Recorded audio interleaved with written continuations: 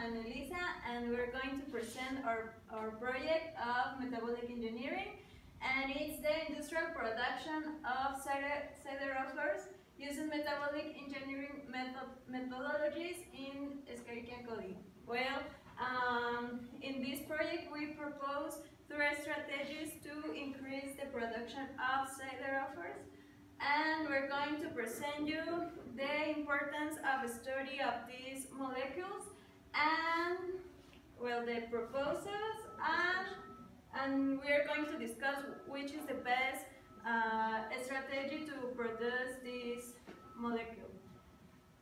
Uh, well, as we already know, antibiotic resistance is one of the biggest problems in the global health and this situation has some consequences such as the increase of cost of medical, uh, the higher medical cost, uh, a prolonged uh, hospital stays, and it also can increase the mortality rate in the uh, society. Uh, well, some research and investigations uh, are have the goal to avoid this situation. I mean, the antibiotic resistance and there's some way to avoid this problem and is the um, the it, uh, has a possible solution to this problem by the employment of the Trojan horse strategy using siderophores and that is important of these molecules and these molecules are used as an iron uptake system to enter and kill bacteria.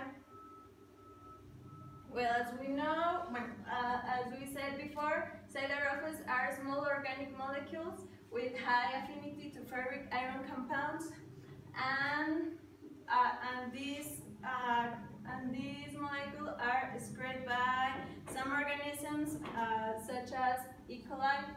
And the siderophores are part of non-ribosomal peptides, which are products found in nature and hold a huge anti, antimicrobial and pharmaceutical potential and also antitumoral uh, activity. Also, they are metal chain molecules produced under iron limited conditions. Um, uh, just to add some information here, uh, non-ribosomal peptides are peptides that are synthesized by non-ribosomal peptide synthetases and the difference between the ones that use uh, ribosomes are that they are um, independent of messenger RNA. Okay, uh, there are uh, various chemical structures uh, of siderophores and the family has at least 500 different compounds and the most common are catechols, hydroxyanic acids, and carboxylates. And several studies have shown that uh, the siderophore drug conjugates make it possible to design antibiotics with improved cell transport and reduce the frequency of resistant mutants. Uh, in many microorganisms, such as Escherichia coli, iron is essential because it is uh, used in DNA replication, production of energy, and protection against oxidative stress. And uh, we chose uh, Escherichia coli uh, for uh, our model organism because it grows very quickly and it has uh, it produces siderophores uh, naturally. Um, within the application of siderophores, uh, is, it is the production of antibiotics like albomycins, pyrimycins, danomycins, salmycins, and tetracyclines that can bind to iron in order to produce some biological activities. Uh, also, there is the application uh, to uh, bio bioremediation uh, because uh, of their ability to bind with a variety of metals uh, in addition to iron. Uh, one example is the the trace of metals in the in the sea. Okay, so this study is very important because, as we previously mentioned, antibiotic resistance is a worldwide problem uh, that is affecting people everywhere.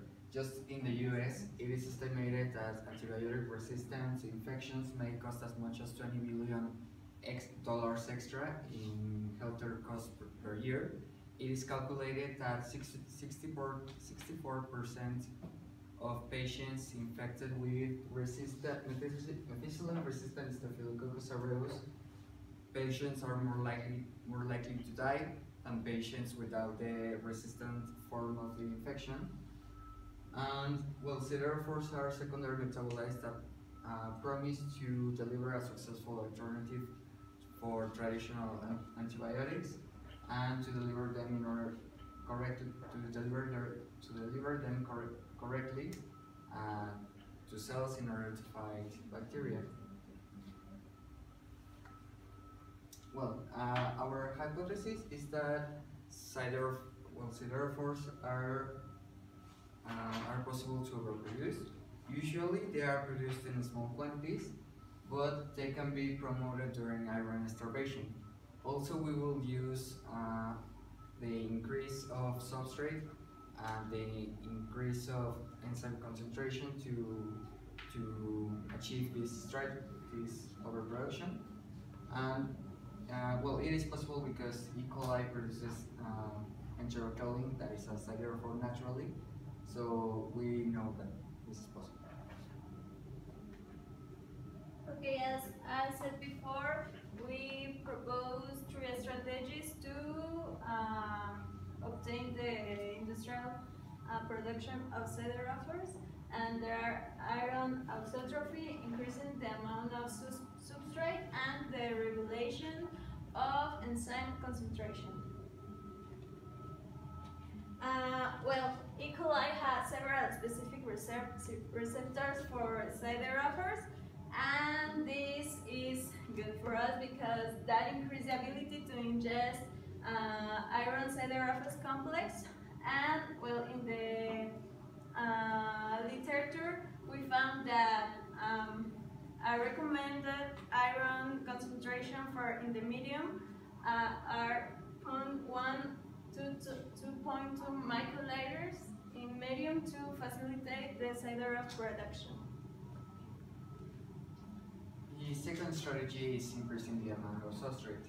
Uh, several studies show that succinate is a very important uh, substrate for siderophore production. And in the case of Pseudomonas aeruginosa, as a model organism, the best concentrations of succinate are 0.49 grams per 100 milliliter, milliliters at pH 7.0, 7.8, sorry, uh, with a stable temperature of 27.8 uh, Celsius. Uh, inside a, all this is inside a 5 liter bioreactor, and levels can result in a 69.48% yield after 24 hours of incubation. Uh, okay, for uh, to achieve the third strategy, that is to increase the amount of the of the enzyme, we are going to use genetic engineering. Uh, the enzyme that we want to increase is the acarismatase, that is this one here. Uh, use the PET28A uh, vector with a T7 promoter that is from a bacteriophage, a LAT1 repressor, the T7 uh, RNA polymerase, and of course the gene of interest that is the isocharismatase enzyme gene. So this strategy is developed to uh, in, increase, well, to direct carbon flux to this side of the pathway. So this is the enzyme that we want to increase or to overexpress. So this, uh, when this enzyme is overexpressed, all of the carbon flux will be pulled from the other branch. So here we have the most important siderophores, including enterocolin, that is this one. And that way we will be overexpressing this side of the pathway and suppressing the left hand side of the pathway.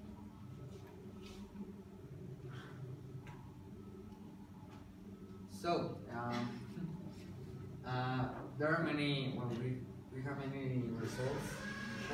Um, one of the results is that uh, several studies agree that the removal of iron from substrate medium results in higher levels of siderophore, while also they increase the synthesis of very well, several membrane proteins.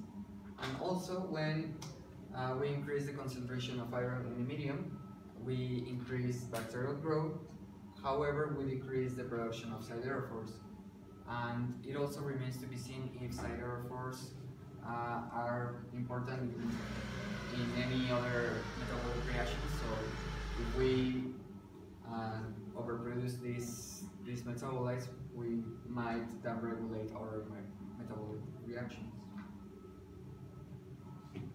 Well, we base in, in three different uh, papers, which are this one, static base optimization and scale up the zero production processing laboratory bioreactor. This uh, in this paper, the uh, is the first um, proposed that is the um, increase the amount of succinyl acid, and this have a result of of 78.41 percent. Um, production of Sideroff and well the two the two um, best uh, strategies were, were this one and the auxotrophy uh, iron so but in the production of Sideroff declined 80% in addition of iron uh, so in the culture medium well, here we can uh, observe the detection of the Sideroff and well, the results of, of each one of the proposals. Um, okay, uh, uh, from the three strategies that we proposed, uh, the two the the two that were the best were iron auxotrophy and the increase of the concentration of toxin in, the medium because we found in, in papers that they have been proved that strategies and then they were successful. Also, the results of the increase of the enzyme concentration using uh, genetic engineering uh, could be not uh, precise in, since it's not known that uh, the enzyme has negative feedback over its own production. And uh, the advantages of the, the two best strategies are that they were proven uh, in other microorganisms and with, with successful results. And it is known that E. coli has the same pathway for biosynthesis of these molecules. On the other hand, uh, the iron auxotrophy is very easy to perform because uh, when you uh, uh when you remove the iron from the medium, activates a mechanism in E. coli that increases the production of siderophores and in order to compensate the lack, of, the lack of iron without making any genetic modification. Well, as conclusions, uh, we remind you the objective of this project that is to accomplish the best strategies to overproduce siderophores for uh, to avoid or prevent antibiotic, antibiotic resistance which is a global problem. Uh, well, recently development of new anti antibiotics and diagnosis, diagnosis techniques analyze the resistant bacteria and this is an important branch of science and we as biotechnologists we can work in this uh, problem because this could, could involve the metabolic engineering, genetic engineering, and also bio bio, bioinformatic tools are very useful.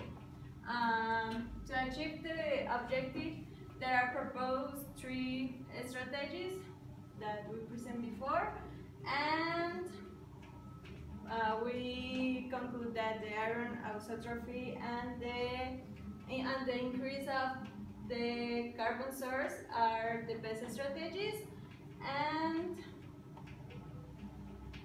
um, that's all. Yeah. Thank you. Uh, do you have any questions or suggestions or? yeah. Why you choose PIT 28 vector for your project?